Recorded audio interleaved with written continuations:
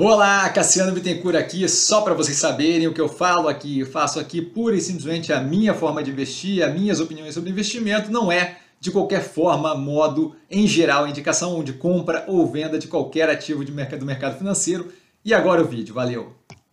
Olá, Cassiano Bittencourt, pela visão estrategista, neste momento para analisar é, a Petrobras, tá? a operação, a Leviatã, brasileira de exploração, extração, refino, transporte e comercialização de petróleo, com um delta de gás e energia que a gente vai ver na abertura do EBITDA.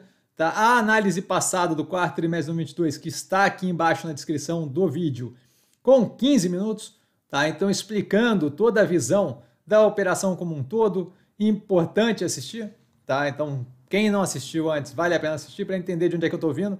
Tá aqui um acompanhamento da trajetória desde então, Tá? Na última análise, a gente comentou a disparidade entre o preço do ativo da Petrobras, PTR4, e o WTI e o Brent, tá? as duas medidas ali mais referência de petróleo, tá? aproximadamente 25% de gap no período de distância, tá? que só aumentou desde então, tá? o que não faz qualquer sentido, especialmente com a piora considerável dos resultados entregues pela Petrobras durante o mesmo período, como a gente vai ver no due diligence. Tá? A gente teve a alteração da política de preços da Petrobras, que foi comentada como uma opção que eu imaginei que fosse ser implementada. Hum, bastante gente imaginou, mas assim foi comentado no quarto trimestre como uma opção que poderia vir a acontecer, tá? De interferência do governo na empresa, deixou algo bem vago, que a gente vai ver agora justamente se é boa esta prova, tá? E que agora justamente vai ser testada com a forte subida do preço do petróleo nos últimos três meses. Aí a gente vê o WTI e o Brent, justamente o comentado anteriormente, nos últimos três meses. Tá? E que já tem tido refúgio do presidente da Petrobras ali para o aumento do preço. Então já temos aí aparentemente um gap entre o que está sendo cobrado e o preço internacional. Vamos só assistir, não vou nem fazer previsão aqui, vamos só assistir. Tá?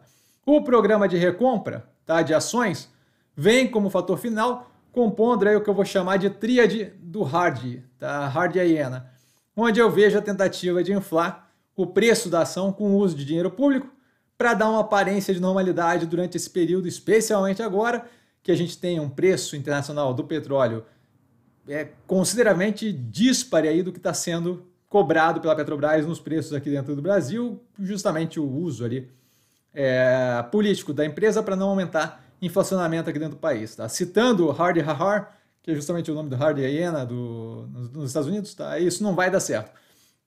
Passamos ao due diligence, tá? A gente tem a receita de, com vendas em reais, queda de 33,4% year on year versus o mesmo período no passado, 18,1% versus o trimestre anterior. EBITDA ajustado recorrente com uma queda de 41,4% year on year queda de 22,5% versus o trimestre anterior. Então, assim, completamente descasado o andamento do preço da operação com a entrega operacional. Vale aqui uma abertura do EBITDA por segmento de negócio, tá? Para dar um pouco mais de clareza, vale entender aqui que a abertura está em dólar, o quadro que a gente está usando ali está em reais, tá? Só para não, não, não, achar que está diferente nem nada, é só a conversão do, da, da moeda. Lucro líquido recorrente com uma queda de 35,9% versus o mesmo período no passado, uma queda de 24,3% versus o trimestre anterior. Como dito, resultado com piora considerável. Tá? E se você quiser pensar no preço ali, tal, teve uma redução de preço do mesmo período no passado para esse período, mas do trimestre passado a redução não foi grande, hein? foi uma redução, se não me engano, de 2, 3 dólares entre esses períodos. Tá? Então, como dito, resultado com piora considerável, completamente descasado do preço do ativo, no caso a Petrobras, tá? PTR4. A ponte de fluxo de caixa livre para informação aí na tela, tá? vale pontuar que a gente teve mudança na política de distribuição de dividendos, é, que agora passa a ser 45% do fluxo de caixa livre não mais o 60% do fluxo de caixa livre anterior, isso só para informação. Tá? Por último, a gente fecha aqui com a alavancagem, na tela, 0,74 vezes dívida líquida sobre EBITDA, o que não preocupa, mas vale observar se houver continuidade do aumento da dívida líquida. A gente já teve um cenário anos atrás dessa dívida líquida completamente avançando sem controle. Tá? Por coincidência ou não, era o mesmo governo que estava no comando da Petrobras.